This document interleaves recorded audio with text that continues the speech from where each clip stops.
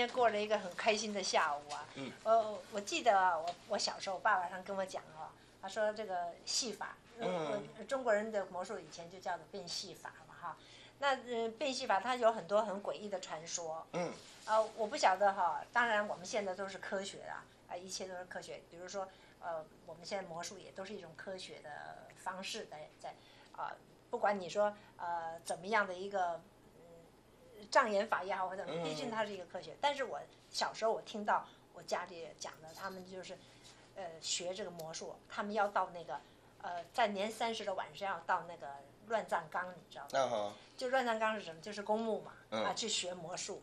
那这，我据说啊，我有一个舅公啊，他也是很喜欢变魔术，他就到那个乱葬岗去，呃，去学魔术。他煮一锅肉，嗯然后就会有那个怪里怪气的那个那个，呃怪怪的嗯怪人好了，他就会过来要吃肉，那你就给他一块肉，然后他就教你一个戏法。这样嗯结果呢，那有一次他就去煮这个肉，结果来了一个是听说是很高两丈的人，然后就跟他伸手要肉，那那个他给他一块，他吃掉了，他还要，结果他锅里的肉都被他吃太吃光了，那个结果那个那个舅公，我妈妈的舅公一一看，他就把那个呃炉子一推，就赶快跑了。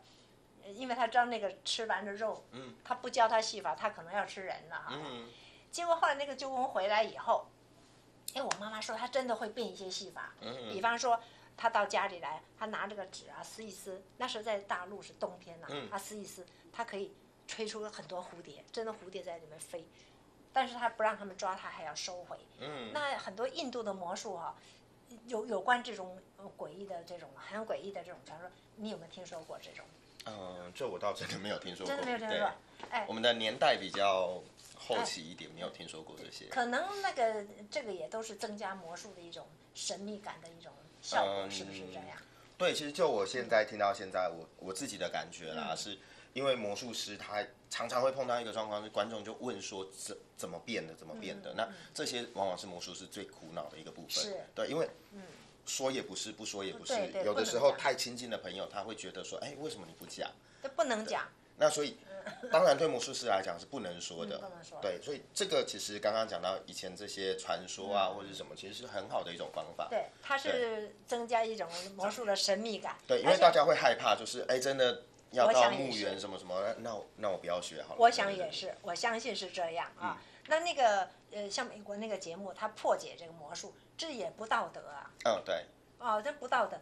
那我有时候看看的表演，呃，魔术表演的是有些嗯很白目的观众、啊，我知道那是怎样怎样，这个也是很让让人讨厌的。嗯。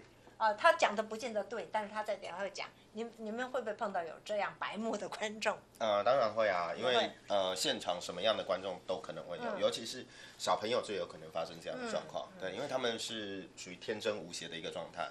但是小朋友说，他说天说啊，那是怎样的？那还好哈、就是因为嗯他讲的绝对是外行话。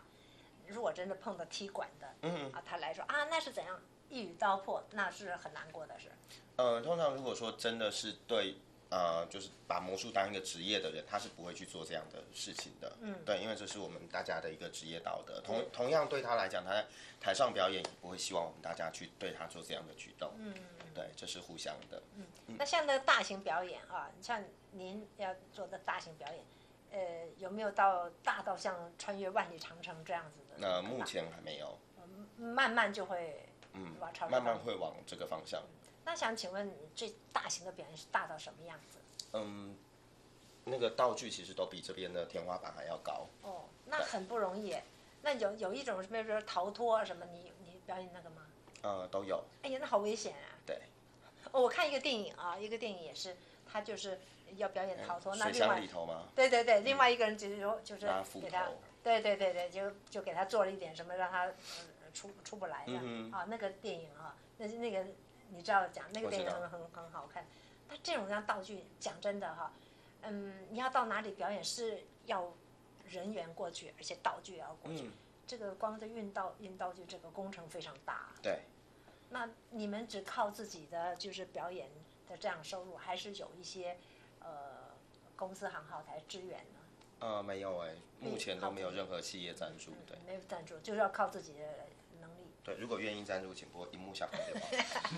我我就是说我我希望我们观众朋友，如果说看到这个节目以后，我们要呃多鼓励一些我们这种后起之秀，而且多鼓励我们非常有能力的这些人啊，多请他们来表演，这个最重要。嗯。啊，多的请，如果说呃想要请蒋浩来表演的，呃，可以透过我们励志公司，或者是直接跟你联络。都可以。嗯对，你要联络的方式怎么样？就是在网络上网络上面直接打你的名字。对。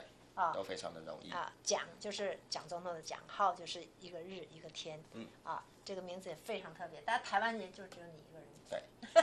对，名字一定要特别一点啊。是的。嗯，那我们今天哈非常开心啊，呃，在我们讲大师啊，呃，称你大师因为不为过啊。大师不分年纪的，他虽然年轻有为啊，但是他是大师啊。啊，那我们请到蒋大师来我们这边，给让我们过了一个非常快乐的下午，非常感谢啊。那如果说我们年轻的朋友啊，有什么疑问呐、或是有谁想学魔术啦，或者想要表演呐、想从事这一行，都可以跟我们呃蒋大师来联络。呃，今天真的好谢谢他，在外面下着大雨，他又那么那样的忙，还愿意来来我们这个呃网络电视台。网络电视台虽然小，可是观众很很多。那谢谢你啊，谢谢你啊，谢谢谢谢谢谢谢。